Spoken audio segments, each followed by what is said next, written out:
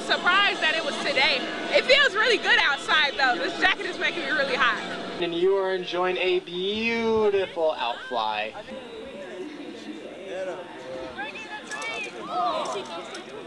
It's amazing. It's like the perfect day for it, and it's definitely worth the wait.